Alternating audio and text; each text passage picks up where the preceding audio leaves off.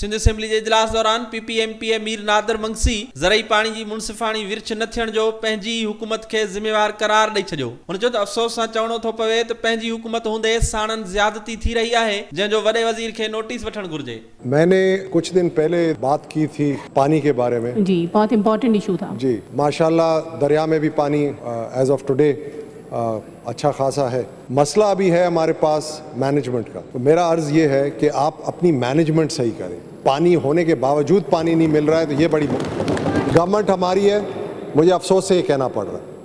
Whether anybody likes it or not I'm telling this I'm telling this to the chief minister right now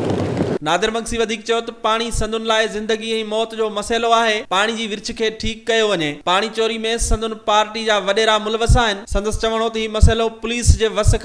چڑھے لائے سیف اللہ منگسی شاخ تے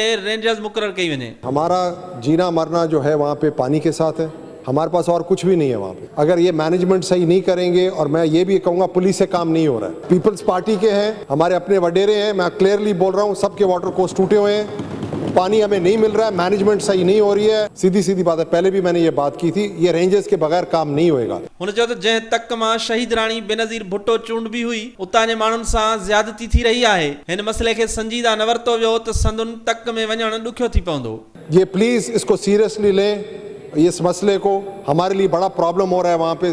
ہمارے پاس S D Os نہیں رکھ رہے ہیں یہ لوگ۔ انجینئر نہیں ہے۔ ایک انجینئر ہے، اس کا ہاتھ ٹوٹا وہ بھی چلا گیا۔ حالات تو یہ ہیں وہاں پہ۔ پتہ نہیں کیوں یہ ہمارے ایریا کے ساتھ اس قسم کا سلوک ہو رہا ہے، جہاں سے بے نظیر صاحبہ وہاں پہ الیکٹ ہوتی تھیں۔ اور ہم جو وہاں کے ریپریزنٹیٹیوز ہیں، ہم جا بھی نہیں سکیں گے وہاں پہ۔ نادر مقصد جو چوڑو تو سندن علائقے میں آپ پاشی سیکریٹری بھی آیو ہو۔ پانی موجود ہوجن باوجود منصفانی ورچ نتی تھے۔ مینجمنٹ کے ٹھیک کرن جی ضرورت ہے کیمرامین علی رضا زیدی سان شبیر لاشاری سندری نیوز، کراچی۔